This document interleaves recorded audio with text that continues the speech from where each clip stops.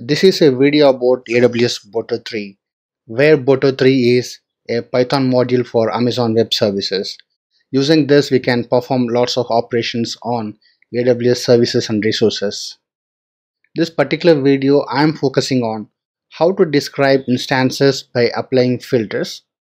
After that, I'll show how to perform certain operations like start, stop, terminate, and so on.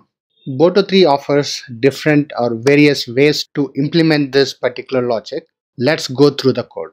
I am using PyCharm editor for this.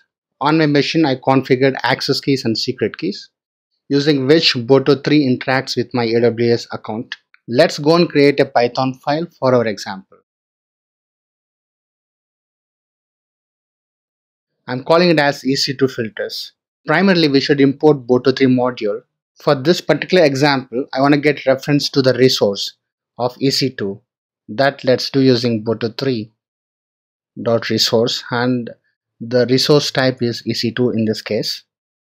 Let's refer this return type in a variable called as EC2. Using this EC2, there are certain methods, we call them as collections basically. Let's get that so we have ec2.instances.filter. If you see Boto3 documentation, that's the resource we got. So on that resource we have instances. On this instances we have filter. In our case, right, we're not passing instance IDs to this. We're gonna pass instance state, that is which is in running state and stop them.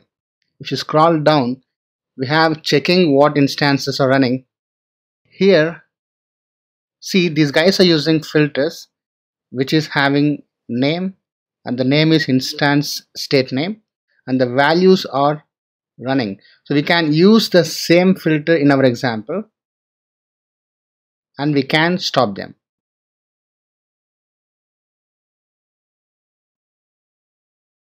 Or even we can store that in a variable. Filters equals that filter here.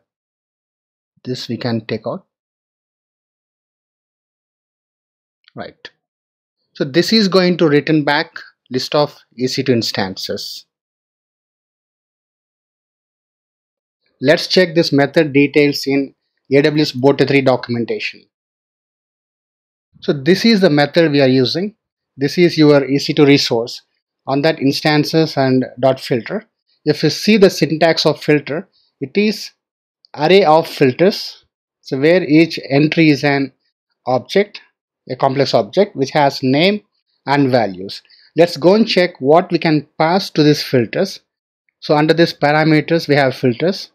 We can do filter based on the following attributes. Let's say you want to get all EC2 instances running in a specific availability zone. You can put this as a filter. If you want to get something specific to architecture you can put this one as a filter so if you scroll down right we have this instance state name. This is the filter we are using currently. And based on this filter name these are the possible values like pending running and other options here. So we are filtering based on running state. So this is going to return back all running EC2 instances. And if you check the return type right see this one? The return type is list of EC2 instances. If you check this instance object here so on this instance we can call stop which is going to stop all the instances which are in running state.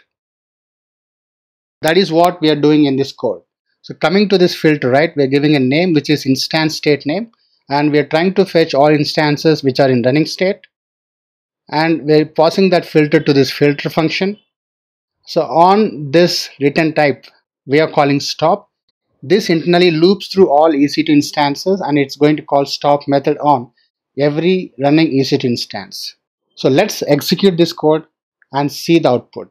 So before doing that let me show my AWS management console and which instance is running there. Currently we have two EC2 instances which are in running state so let's execute this code